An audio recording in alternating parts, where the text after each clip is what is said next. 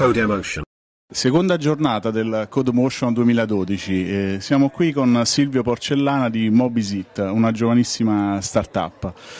Raccontaci un po' di cosa si occupa la tua startup.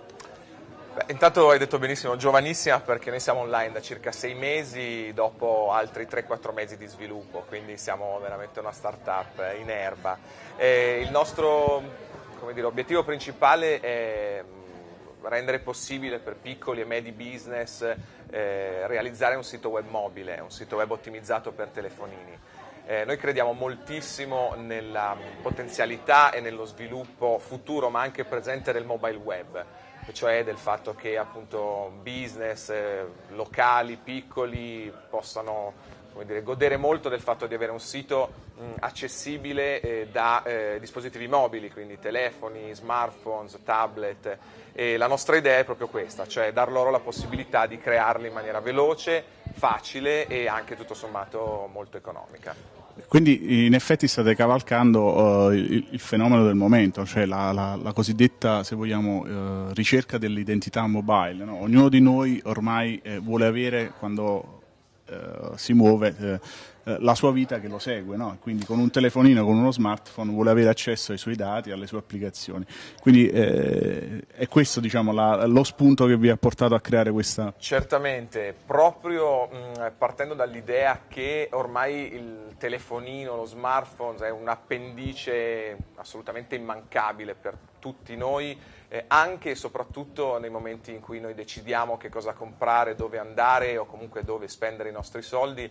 Proprio per questo ehm, la nostra idea è stata rivolgerci a quei business, a quelle società, realtà, piccoli negozi che difficilmente potrebbero avere accesso alla creazione di un'applicazione nativa perché dire, eh, richiede un budget più elevato o eh, difficilmente hanno anche in casa le competenze per realizzare un sito web mobile ottimizzato per telefonini e proprio per questo vogliamo dar loro uno strumento che gli consente in maniera veloce e molto molto semplice e intuitiva di realizzarlo ehm, per aumentare sostanzialmente il loro business online. Dal punto di vista tecnico eh, siete in grado di operare con tutti i browser? Sì, diciamo noi abbiamo posto ehm, i tre pilastri fondamentali su cui noi abbiamo deciso di basare la nostra startup sono prima di tutto eh, la semplicità di utilizzo e per questo abbiamo investito moltissime risorse per creare appunto un CMS e un'interfaccia utente che sia il più semplice e facile da usare. E la seconda è proprio questa, cioè la compatibilità massima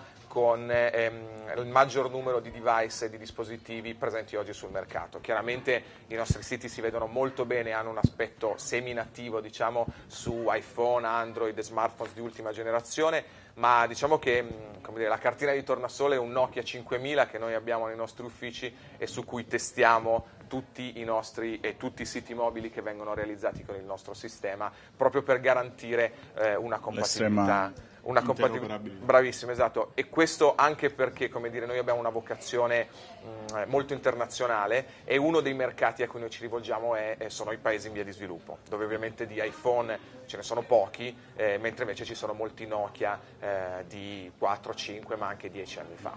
Senti, invece la, la startup, do, di dove siete? Sì. Quanti ne siete e come vi finanziate? Beh, guarda, la nostra startup è mm, dire, veramente globale probabilmente, perché la startup è incorporata mm, negli Stati Uniti, a Boston. Eh, io sono di Asti, il fondatore e diciamo, il creatore del back-end, insomma, del motore, e invece mh, il ragazzo che è qui con me, ma al nostro banchetto, ehm, eh, il ragazzo che si è occupato della parte di front-end è di Catania. Quindi, insomma, noi ci... ed è, è, il Codemotion 2012 è stata la prima occasione in cui noi ci siamo visti face to face. E ciò nonostante abbiamo realizzato un prodotto, insomma, che comunque qualche... Quindi siete la dimostrazione pratica che grazie ai nuovi strumenti, alle nuove sì, tecnologie si può fare business anche a distanza. Assolutamente, penso proprio di sì. Per il finanziamento invece siete autofinanziati? Sì, siamo totalmente autofinanziati, diciamo che questo è una cosa come dire, che, mh, su cui io ho voluto insistere molto, cioè l'idea di da un lato non ricercare spasmodicamente investimenti, eh, un po' per poter avere forse un po' più le mani libere da un lato, dall'altro perché nella fase iniziale la mia attenzione e la nostra attenzione voleva essere sul far crescere la startup e non tanto sul cercare finanziamenti.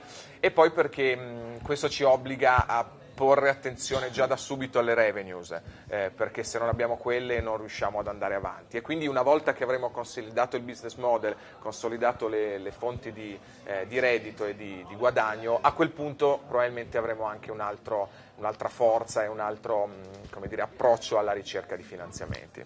Silvio, ti ringrazio in bocca al lupo. Grazie a voi.